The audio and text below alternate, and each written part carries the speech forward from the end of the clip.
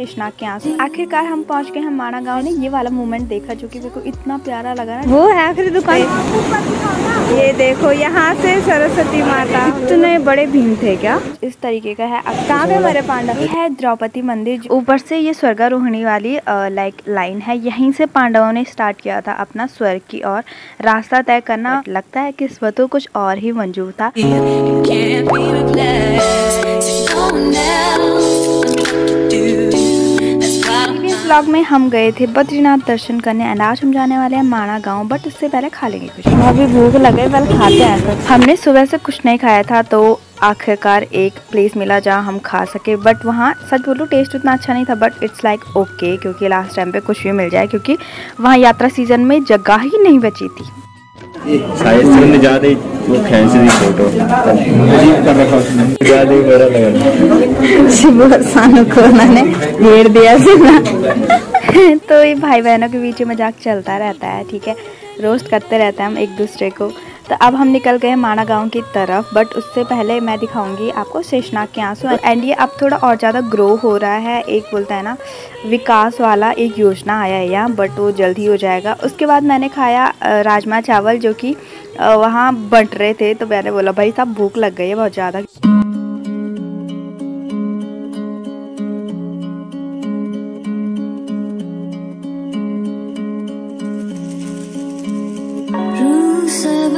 आखिरकार हम पहुँच गए हैं माणा गाँव जो कि बद्रीनाथ से आई थिंक दो या तीन किलोमीटर दूर है बट बहुत सुंदर जगह है। नींद भी आ रही है खाना खा के। चित्रकारी कितनी सुंदर कर रखी एज यू कैन सी इतनी सुंदर जगह है इतनी सुंदर जगह है। अगर पे पे कैमरा होता ना लिटरली बहुत ज़्यादा ड्रीमी फ़ोटो आती है। यहाँ बट कोई नहीं तो अब हम जा रहे हैं भीम पुल की तरफ़ जो कि पैदल यात्रा होता है। एंड मैंने ये वाला मोमेंट देखा जो कि मेरे को इतना प्यारा लगा ना डॉगी के साथ आंटी बात कर रही थी। एंड अब हम आगे के लिए निकल गए हैं। भीमपुल वहाँ से आई थिंक आधा एक किलोमीटर दूर होगा, वहाँ थोड़ा पैदल है बट आपको टाइम का पता नहीं चलेगा।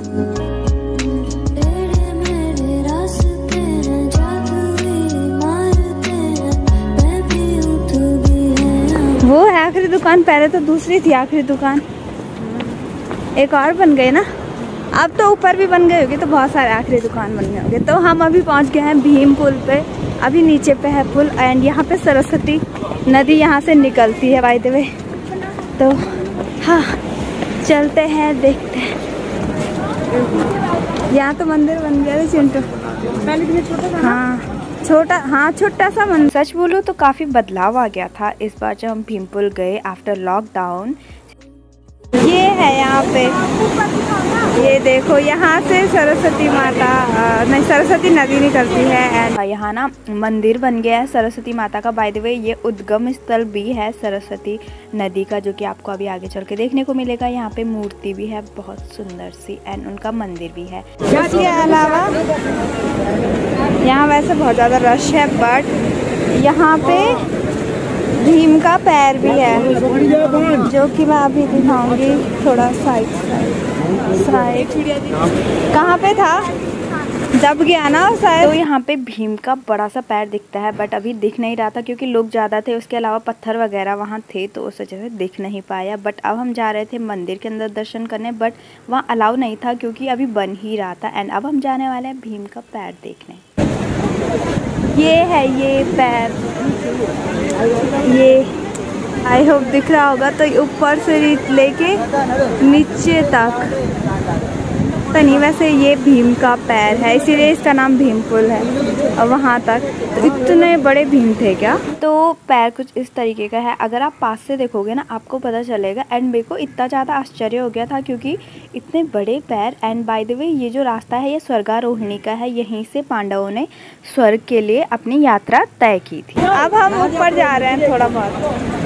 थोड़ा ऊपर जा रहे हैं तो ले गाइड तुम्हारा मैं तो हूँ। हाँ ये गाइड है हमारे साथ सुमित राणा कल वाले कल ब्लॉग वाले हाँ मेरा फ्रॉक गिर। रहा शून्य रुपए में ज़ीरो तुम छोटे में आते थे दादी लोग हमको बोलते यहाँ पे जो मतलब वो मरे ना पांडव। हाँ। कहाँ पे मरे पांडव? मतलब हाँ। हमारे ना जो आगे बस। की जाते हाँ हाँ। तो वसुधारा से आगे ना? यार पांडव की बीवी क्या नाम है उसका? द्रौपदी। हाँ इसकी वो है क्या कि यहाँ? क्या? समाधि। यहाँ पे? ऐसा नहीं है हाँ ऐसा नहीं है वो खाली मतलब पुराने बात है। पुराने लोगों का। क्या पता होगा भी ना? घंटा कनाल का सॉरी मंदिर है यहाँ ऊपर। इधर नहीं इधर। हाँ। ऊपर है। और यहाँ जो गाँव में है ना उनका इष्ट हाँ। वो है घनियाल। ये है घंटा करण माड़ा गाँव। इतना मस्त बुझाल है। ऊपर पहाड़ी। हाँ ऊपर साइड। कितना मस्त है रोहिणी के लिए भी जाते दे द्रौपदी मंदिर। ये है द्रौपदी मंदिर जो कि उनकी तपो स्थली एंड जैसे यहाँ से स्वर्गारोहिणी स्टार्ट हुई थी ना उसके बाद बहुत सारे ऐसी जगह है जो कि पांडवों से बहुत ज़्यादा रिलेट करने वाले। जैसे यहाँ द्रौपदी मंदिर है आगे एक नकुल सहदेव की जहाँ डेथ हुई थी वसुधारा है। पार्क कहाँ पे है? जो लॉन्ग वाला पहाड़ नहीं है? ये पहाड़ कितना है वो सामने वाला अच्छा। बट सुंदरता यहाँ इतनी थी एज यू कैन सी हर जगह ऐसी है फोटोजेनिक एंड आप सुकून से बैठ सकते हो, ऐसी टाइप की यहाँ जगह है.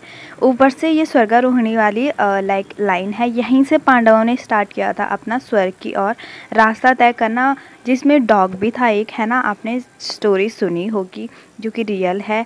तो अब हम जा रहे हैं आगे की तरफ़ एंड ये हमारा लास्ट पॉइंट था इस व्लॉग का. क्योंकि हमको रियल बोलो तो सच में ऐसा था कि नहीं, हम यहीं तक जाएँगे। बाय द वे जो जो सड़क दिख रही है ना, ये आई थिंक तिब्बत के लिए जाती है, यहाँ से। तो यहाँ से इंडिया की सीमा ख़त्म हो जाती है एंड तिब्बत की स्टार्ट हो जाती है। तो मैं क्या बोल रही थी कि हाँ हमने सोचा था हम यहीं तक जाएँगे। ऊपर पे आपको दिख रहा है ना रैन बसेरा जस्ट वहीं पे। एंड वहाँ से हम वापस आ जाएँगे। बट गैस वट लगता है कि इस वक्त तो कुछ और ही मंजूर था।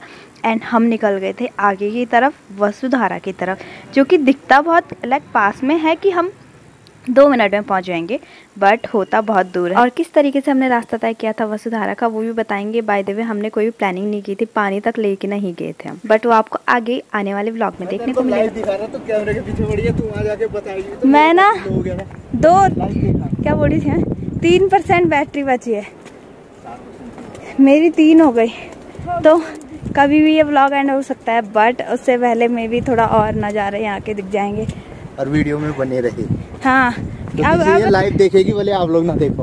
हाँ लाइव ज़्यादा भी नहीं देखूँगी हे भगवान। तो अब मिलते हैं पार्ट थ्री वसुधारा व्लॉग में तब तक के लिए बाय